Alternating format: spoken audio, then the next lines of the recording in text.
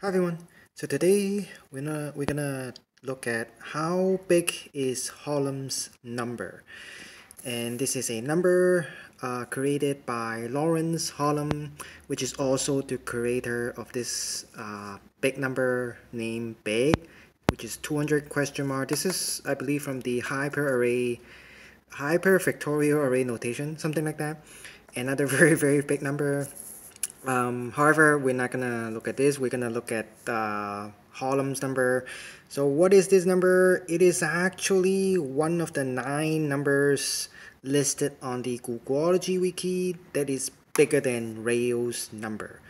So if you look at that site, if you look at Googology wiki, uh, I think there's only nine or ten numbers listed there that is bigger than this. At, at least in that category, the uncomputable big numbers. Um, and what is this? So basically it's written this way, I a of 200 and the I stands for the iota function and A stands for the number of Planck times in this many years, which is around this many Planck times. So what is this again? So basically, obviously, is an uncomputable function that is trying to make the biggest numbers ever um, and it takes on two variables. So as you can see here i is the function. So it takes on two variables m and n. So the input will be n just like other functions. And there's another variable m over here. And m represents time.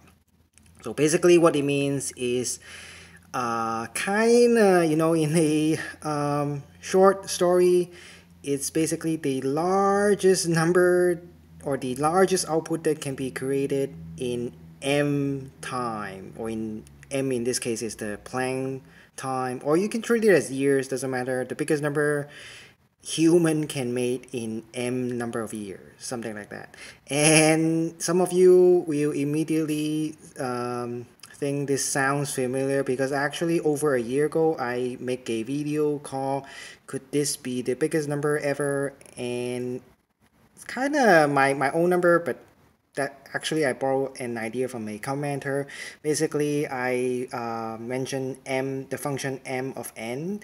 And what does this mean? It means the largest number that can be defined with uh, n number of mathematicians in n number of years.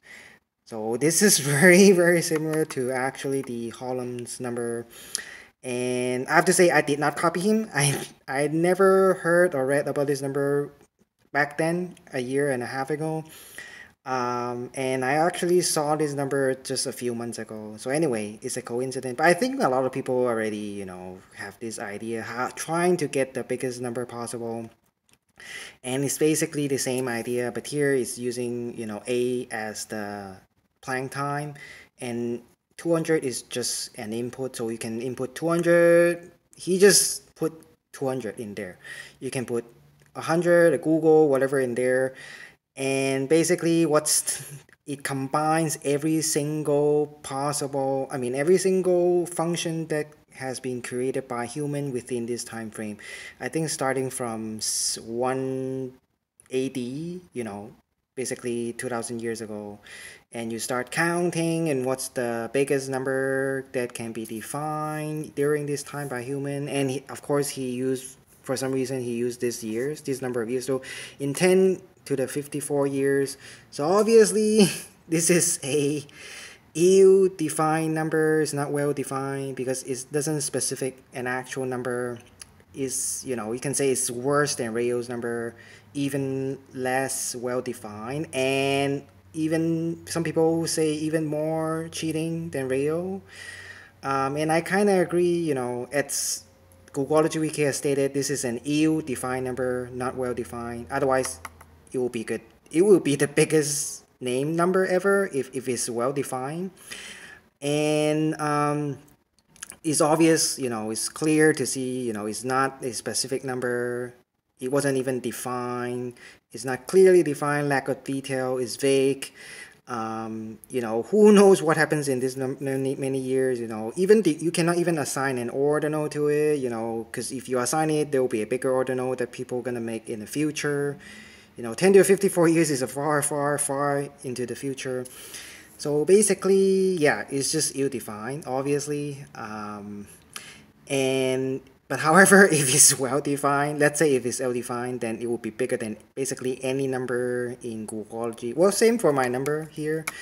Uh, it will be not just bigger than Rayo, it will be even bigger than the Little Bigeddon, um, the Sasquatch and the uh, Bigfoot and also the uh, oblivion and utter oblivion maybe even larger than the garden's number and of course bigger than uh, fish number seven those numbers um, but you know obviously is ill-defined but it is it is actually listed on google wiki i guess because this this person is um, quite famous in the Googology wiki, but I think some people, even myself, I have, you know, create something similar. So anyway, this is how big is Hollom's number. If it's well defined, it could be the biggest named number, but actually, you know, it's not. It's ill defined. So anyway, thanks for watching and have a nice day.